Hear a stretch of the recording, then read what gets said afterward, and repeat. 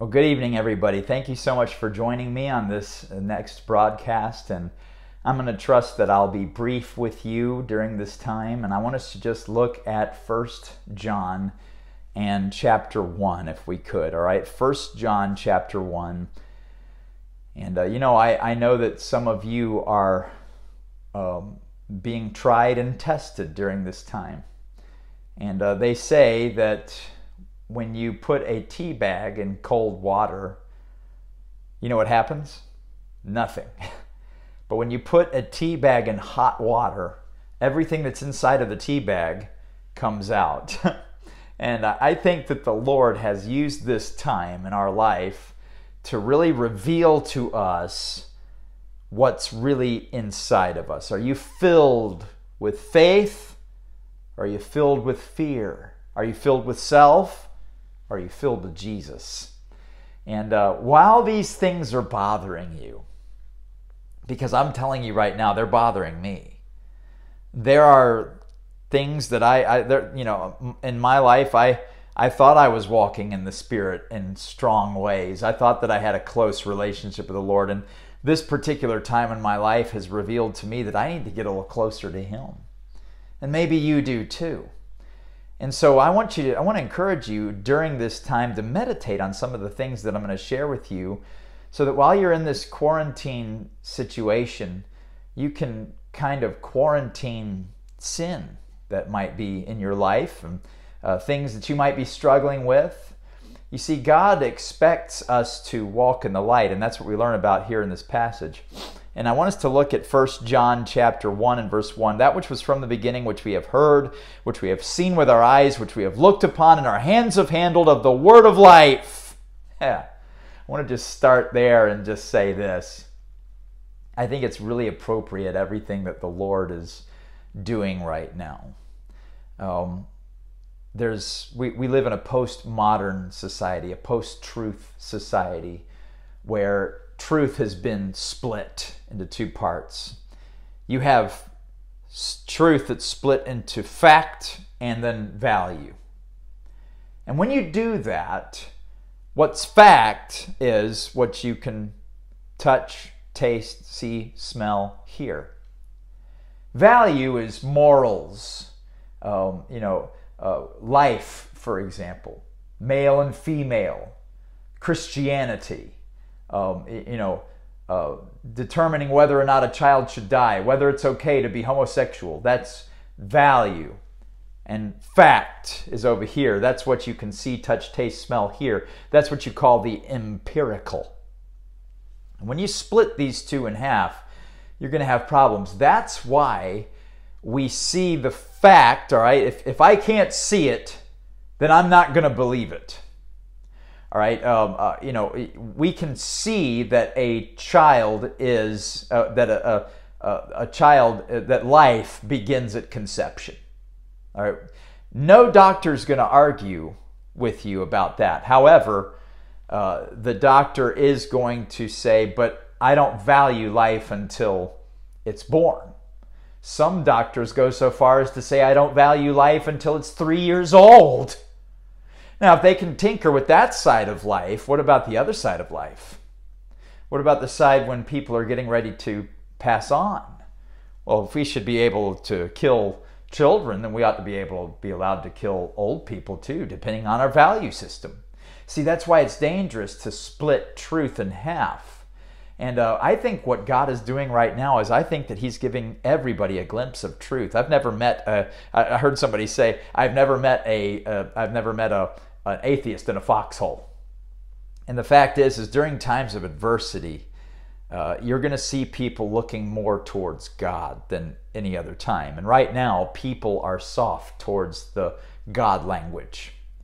And it's important that we uphold truth during this time. Truth has fallen in the street, but if we uphold it, it won't be so anymore. And so I encourage you right now to think about truth. Think about the fact that truth is fact, what you can see, touch, taste, smell, and hear, the empirical. All right, truth is empirical and value combined. And can I tell you something? We're coming up on Easter. in April.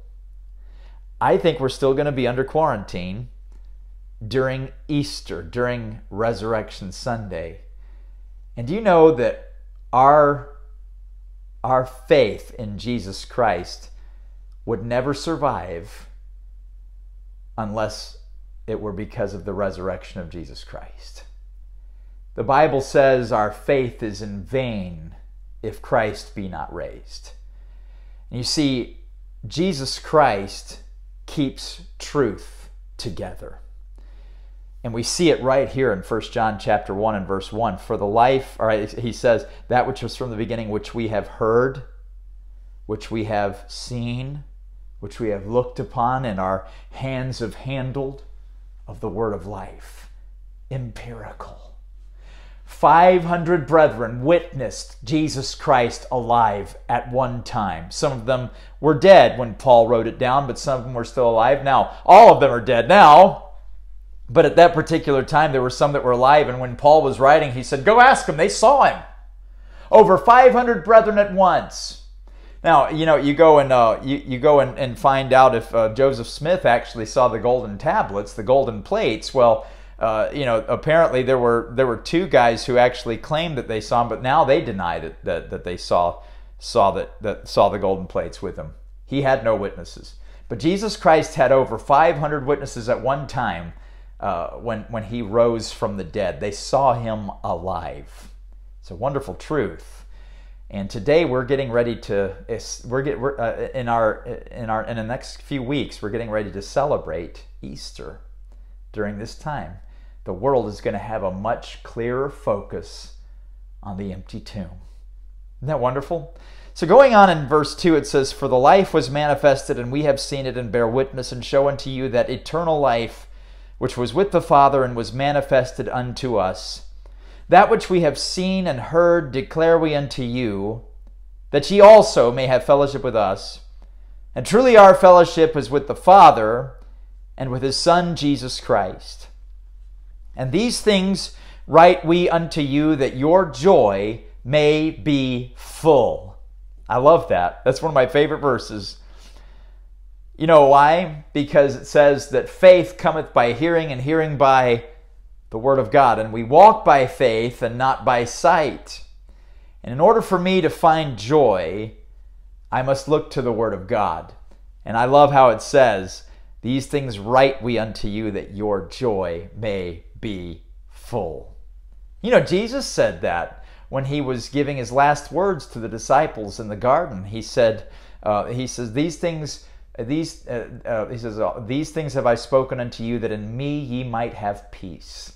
In the world ye shall have tribulation, but be of good cheer. I have overcome the world. He's the Word of God. So these things are written to us that we might have, that our joy might be full. In verse 5, this then is the message which we have heard of him and declare unto you that God is light and in him is no darkness at all. The Bible says this in uh, John chapter 14 and verse 6 I am the way, the truth, and the life, and no man cometh unto the Father but by me. Well, why do I want to go to the Father? The Bible says in James chapter 1 every good gift and every perfect gift is from above and cometh down from the Father of lights, in whom there is no variableness, neither shadow of turning. We want to get to the Father because He has everything we need. The Lord is my shepherd, I shall not want. The Bible says, Because I'm with Him, surely goodness and mercy shall follow me all the days of my life. I'll be a blessing to all those about me because I'm overflowing. My cup is running over with joy. And so I want to be able to walk in that light. And so I want us to look at what it says after that, all right? It says, verse 6 If we say that we have fellowship with him and walk in darkness, we lie and do not the truth. But if we walk in the light, as he is in the light, we have fellowship one with another, and the blood of Jesus Christ, his Son, cleanseth us from all sin. That verse right there is our key verse for today. But let's look at it again. If we walk in the light, as he is in the light, we have fellowship one with another, and the blood of Jesus Christ, his Son, cleanseth us from all sin. Now, here's the question that I want to ask. It's easier said than done to walk in the light as He is in the light. Let's pray first. Lord, I do ask that you would just bless and just help as we look to your word. I pray that if there's anybody listening, I pray that if maybe just one person that's listening might be might be reached through this message, that you would just use that person to walk by faith and seek to do your will uh, no matter what. And, and uh, perhaps maybe I'll never meet the person listening that you would change, but I trust that maybe somebody that's listening to this message might be helped and encouraged and strengthened through what is heard through the preaching of your word. And I thank you for it. I'm trusting you'll anoint these lips of clay and just help me as I do this. And it's in the name of Jesus Christ I ask all these things. Amen. All right, so if we walk in the light as He is in the light, we have fellowship one with another. You know, that's easier said than done. Have you ever wondered why such a truth is so hard to maintain? Why is it that it's so hard to walk in the light as He is in the light? Why is it that we end up stumbling in darkness all the time? You know, I mean, uh, physically, empirically, we've been talking about the empirical. Empirically, it's a lot easier to go into a room and turn on the light than it is to walk around in darkness. So, why is it spiritually that we end up walking around in darkness instead of turning the light on? Well, first of all, Let's discuss why we should walk in the light spiritually. Because things are described a little bit different in the spiritual realm because spiritual realm the spiritual realm doesn't have color, doesn't have taste, doesn't have the empirical as I had had been mentioning already, all right? When we walk in the light, we are able to enjoy fellowship with Jesus, all right?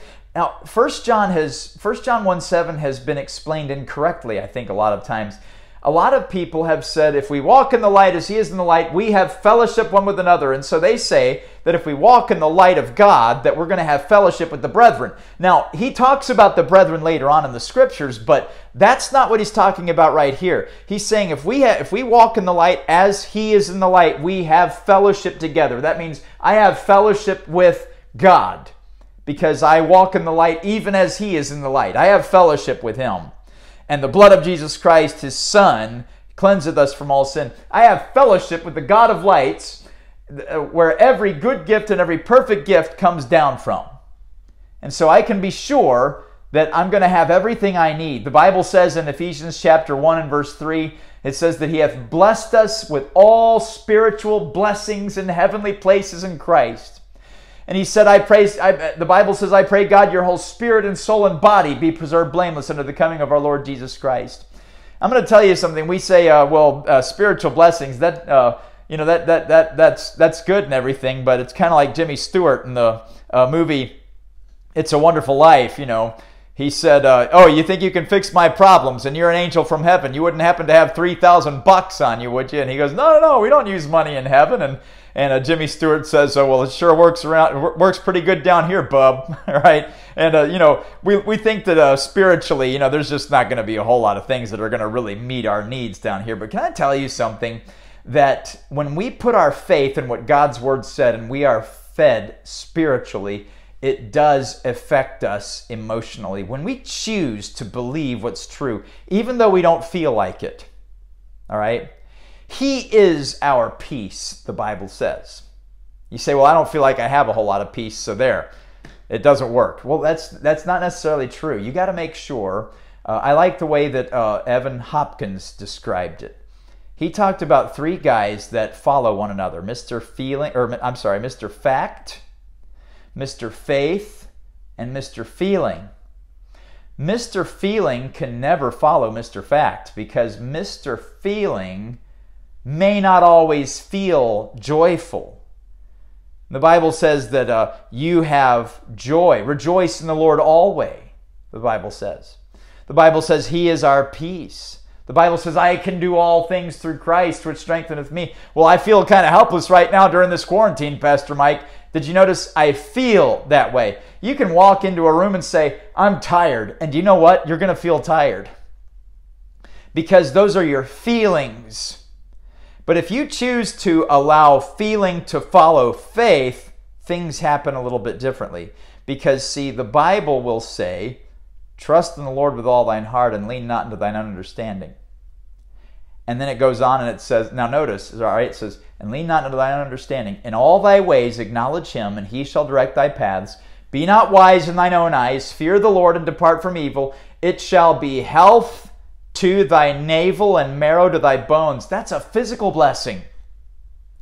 That's saying that if I put my faith and trust in God's word and I believe what it says, I'm going to eventually start feeling it. And so you have three parts. You have Mr. Fact, which is the Word of God, and Mr. Faith always follows Mr. Fact. Even though Mr. Feeling doesn't feel it, he's going to follow Mr. Faith.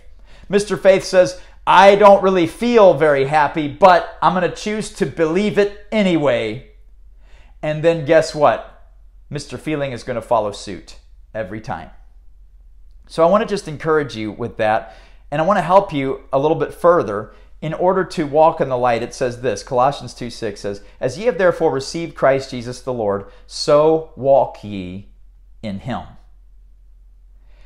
A lot of people overlook that verse.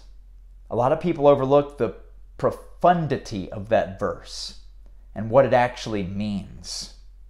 Because the fact is, is we've got a lot of liberalism, or we've got a lot of a, a lot of uh, a lot of legalism out there where we follow a list of rules that make us happy and you know and, and, and it keeps us kind of you know uh, you know as long as I as, as long as I do this and as long as I do this as long as I do this you know I feel good about myself as far as my Christian faith. You know we follow a list of rules and that's about it. That would be that would be that that legalism. Now I'm not saying that we should never follow what the word of God says. I'm saying that uh, legalism where we follow a list of rules rather than having a relationship there's a problem there all right?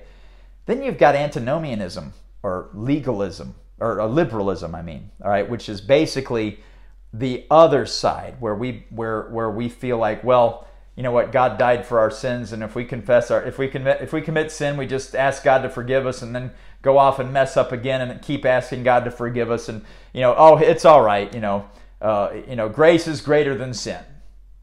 Well, there's a there's a bad side to that too because how are we supposed to be lights in this world if we're going to keep walking in sin? All right. So uh, when we walk in Christ, right? he says, as, as ye have therefore received Christ Jesus the Lord, so walk ye in him. What happens when you do that? Well, let me explain this first, all right? It says, as you have received him. How do you receive him? By faith. For God so loved the world that he gave his only begotten Son, that whosoever believeth in him should not perish, but have everlasting life. For by grace are ye saved through faith, and that not of yourselves, it is the gift of God, not of works, lest any man should boast. It's all about our faith and not what we do to get to heaven. It's about our faith and trust in him. He paid for everything. And so, just like that faith that we put in Jesus, realizing there's nothing I can do to get to heaven. All have sinned and come short of the glory of God. There's no way that I can ever attain to heaven. There's no way I'll ever get there. I'm trusting in Christ alone to help me. In that very same way, walk in Him. That means every decision, every step in life that I take today, I'm going to walk in Christ. I can't go through today without feeling depressed, Lord. I need you. I'm going to fail today. Uh, some of you are having to spend extra time with your spouse, and you're realizing, you know what, my relationship with my spouse is not as great as I thought it was. Uh, I found myself getting in arguments and all this stuff, and you need to get that straightened out and you need to say, I'm going to walk in Christ. I can't do this without you, Lord. I'm going to fail. I'm going to be a lousy husband. I'm going to be a lousy wife unless I'm walking in you. I'm depending on you to help me with every step that I take. And He will. Now, how can you know that you are walking in Him? Well, it says in Galatians 5:16 something very similar to walking in Christ. It says, This I say then, walk in the Spirit. Jesus said, I'm going to send you a comforter that's like me. And so it's, it's basically the same thing. Walk in the Spirit, and ye shall not fulfill the lusts of the flesh. Now, we get a good little microscopic view of that. We get to see a little bit of, you know, how do we know that we're walking in the Spirit? You know, I like to know that. How do I know that my church is in revival? Well, the Bible has, has, has examples of that, all right? A lot of people think, well, I know that my church is in revival when I see fire come from heaven. Or I know that my church is in revival when I feel a quaking. No, those are incidentals of revival. I believe those things happened. I believe some amazing things have taken place in revivals. I think of the Asbury College revival in 1970, the most remarkable incident where the, the revival took place on the campus and it filled a particular uh, chapel with the, the presence and the, the, the, the sweetness of God. And when you left that chapel area, it kind of left. And so people congregated and got together and met in that place. It was in that particular place that the manifestation of God was very real and people would stay there for hours. You have other incidents where entire towns got saved. For example, Charles Finney during the Rochester revival, everybody in Rochester trusted Christ as their Savior. It was a most amazing event. But you can't always expect those things to happen in a revival. But you can expect, all right, you can expect essentials in revival. The Bible says remarkable answers to prayer. The Bible says that we can expect souls being saved we can expect the fruit of the Spirit. And I'm going to talk about that in a minute. The obvious help of the Holy Spirit, where we seem to be getting along and, and coming up with ideas. And, oh, I was just thinking about that the other day. And we all agree with one another. And, and persecution is one of those um, uh, essentials of revival, where God uses sometimes persecution and other situations like the coronavirus to kind of get the church in line. I think the church has been seeking God out in tremendous ways, and I think that God is answering our prayers even now. But the fruit of the Spirit, right here, is another way that God says, here's how you know that you're walking in the Spirit. I like this, all right? And this is why I, I, I, I was talking with my wife about this. I'm a little, I'm, a, I'm kind of a stickler when it comes to how this verse is said. Because it says this the fruit of the spirit all right let's uh, let, us go ahead and, and uh, we'll, we'll look at galatians really quick all right? Galatians chapter 5 and uh, we'll look at uh, verse 22 here all right? Let's look at what it says. But the fruit of the spirit is love joy peace long suffering gentleness goodness faith meekness temperance. Against such there is no law. I said that kind of fast. But i want you to notice in particular at the very beginning the fruit fruit not fruits of the Spirit, but fruit, one. Now, there's a big reason why I say that, all right? If you're going to say fruits of the Spirit, that means that you've got different fruits. You can take an apple and say, This is love. You can take an orange and say, This is peace. And uh, you can take a peach and say, This is uh, joy, all right? And so they're distinguished from one another, which means you can have one, but you may not have the other. That's not, that's not what it's saying at all. The fruit of the Spirit is the proof of the Spirit. It's proof that you're walking in the Spirit. How do I know I'm walking in the Spirit? When I love my enemies. How do I know I'm walking in the Spirit? When I have joy unspeakable and full of glory. In the midst of all these difficult things, I'm joyful. I just feel happy all the time. Peace. In the midst of these difficult times, I have peace. That's the fruit you want to know how you're walking in the Spirit? Make sure you check your fruit. There's fruit in fear, you see. Fear has its own fruits selfishness, all right? Hatred. Leave me alone. You know, people who hurt most of the time hurt others. That's a fruit. If you want to know if you're walking in fear or not, how nice are you being to people, to those that you're living with, to those that are around you? Are you impatient? Are you uneasy? Are you edgy? You know, I already said that. Aren't you listening? You know, that kind of an attitude. That's fear. Fear has fruit too. See, faith cancels out fear, but fear can cancel out faith as well. So I want to just kind of give you the warning there. But the proof that we're walking in the Spirit is that we're loving our enemies, loving those around us, that we have joy, that we have peace, and uh, you know, so it's it's important. You can't have one without the other. It's basically vital signs that you're walking in the Spirit. Um, if a man doesn't have a pulse, but he's breathing, does that mean he's alive? The answer is yes, but probably not for long unless they get that pulse going. I don't know a whole lot about uh, about uh, about medical science, but I can say this if you don't have a pulse, you're not going to be breathing very long. And uh, I don't even know if that's even possible. Uh, it's possible you can have a pulse but not be breathing. I'm not sure if it's the other way around. But what I'm saying is, is you got to have a pulse and you've got to be breathing. And it's the very same thing. You've got, if you're going to be walking in the Spirit, you're going to have all of it. When I hold up an apple and I say, What's this? You're going to say it's an apple. I'm not going to say, No, no, it's apple skin. All right? Uh, no, no, it's apple seeds. No, they, they, it all goes together. All right, it's the fruit of the Spirit. All right, so I'm not going to go uh, any any longer on that, but you have to have all of them. So now let me ask you. All right, do you want to love people no matter who they are? Do you want to have joy? Do you want to have peace? Do you want to have patience? Uh, do you want to be known as a gentle person, a good person? Then you got to walk in the light as He is in the light. Right? I want to be these things. I want to be known as gentle. I want to be known as a good person. I don't think there's anybody that doesn't want to be a bad guy. I heard somebody say recently, I'm not exactly sure where, where it was. I was reading a book by uh, John Maxwell, I think, and he said 80% of the time, uh, the people that you think are are, are doing wrong are most likely actually trying to do what's right. All right. Unfortunately, the, the Bible says that it's what's right in their own eyes.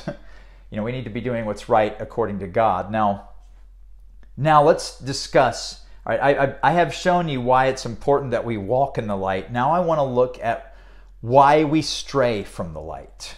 All right, why do we stray from the light? If you don't remember anything that you heard, all right, if you don't remember anything that you heard in this message, um, I want you to remember this darkness is a concealer, light is a revealer. I've basically put that phrase right in the middle of everything I've just said because it kind of clears up everything. Now, if you can't remember anything that I've already said, and you remember that darkness is a concealer, light is a revealer. I want you to write that down on a piece of paper, print it out or something, put it on your mirror or someplace, maybe on your phone as a wallpaper or something, and just let it be a constant reminder because I'm getting ready to show you why we walk out of that glorious light that gives us so many wonderful things. Why is it that we do something so ridiculous, all right?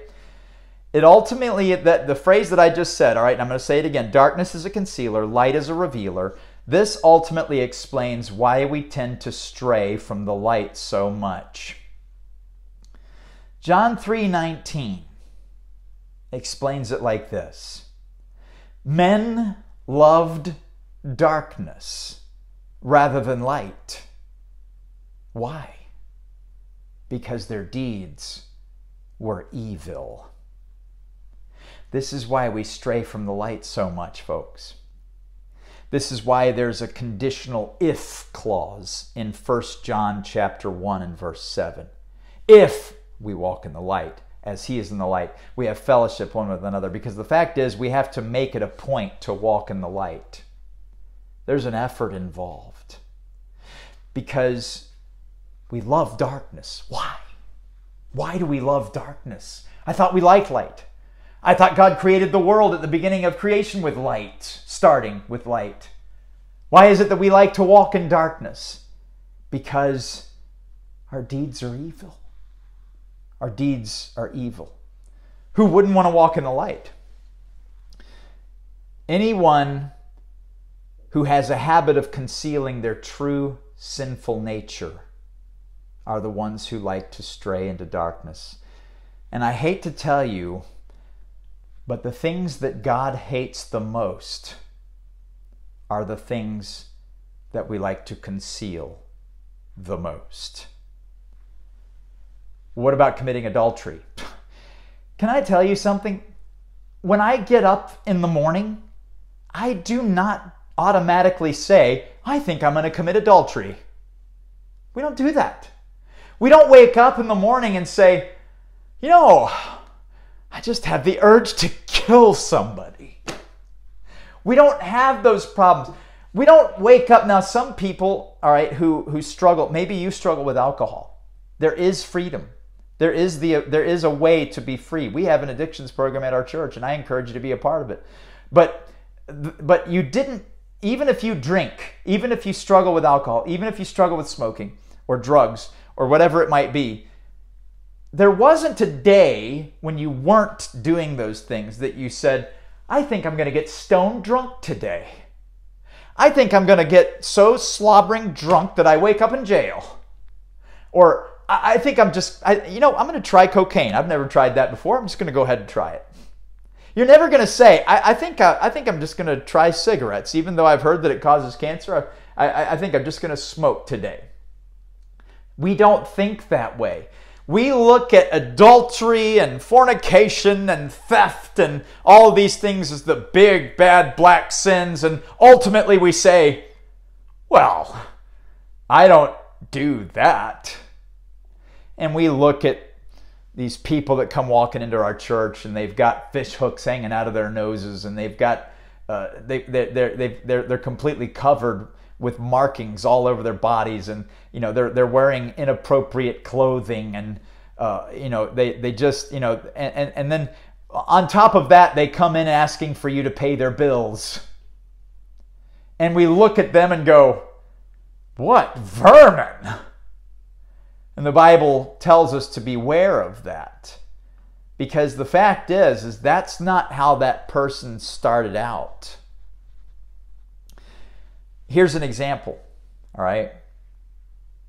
God hates pride. Yes, he does. What about when I go around stirring up problems for other people? God hates discord among brethren. How much discord have you stirred up in your house this week?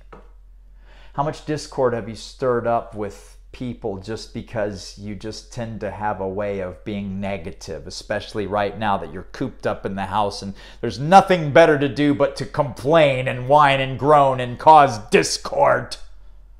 What about when someone says something nasty to me and my heart begins to imagine the worst things happening to that person to make me feel better?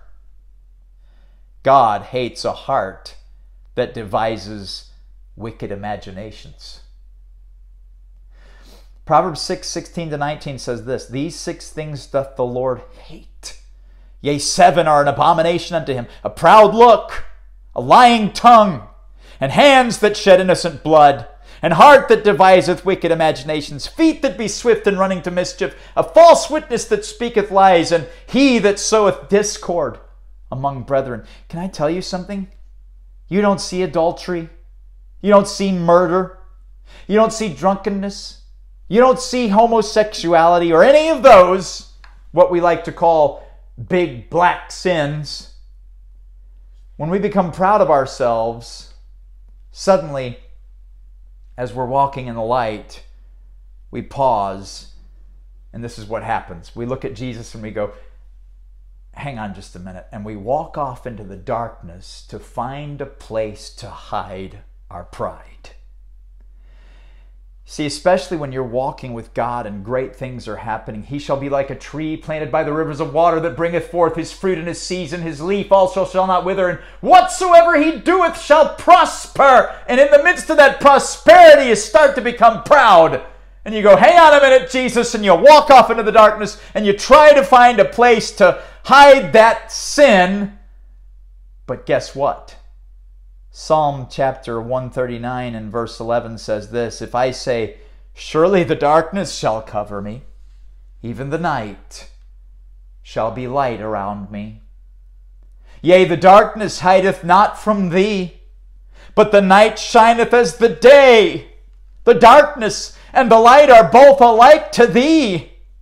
We don't have a place to hide our sin, people.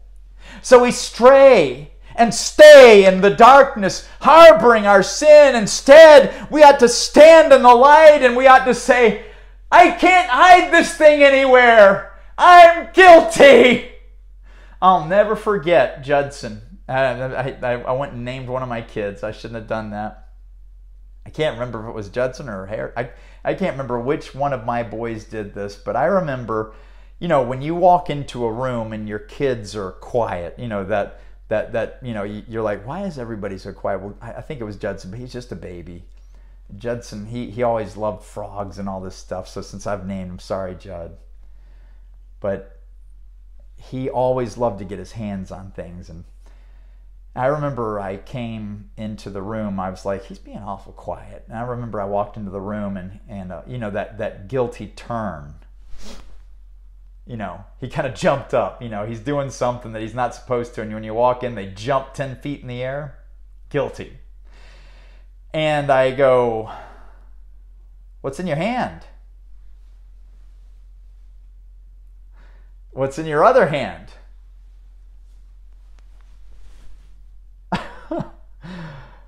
Let me see both of your hands. That's really how he was doing. I was like, okay, open your hand. He began to back into the corner. I began to approach him. Let's see what's in your hand, son. Let's see your hand. Open your hand up. I, am not going to ask you again. Let's see what's in your hand. He opens up his hand, and in his hand is a half a cockroach. And I was just like, oh, that, that's so gross. And I took that thing out of his hand, got him into the bathroom, and washed his hands off. And I mean, I'm just, oh, it's just disgusting. But he knew he wasn't supposed to be touching stuff like that. But you know, that's kind of how we are. And the fact is, is our sin is nothing but a filthy dead cockroach. It's nothing good. It's nothing that's going to help us. It's filled with disease. And yet we continue to conceal it because we're unwilling to say, God, I did this. I'm sorry. You know, when you say, I'm sorry to the Lord, Jesus comes up and he shows you his hands and his feet again, and he says, That's what these are for.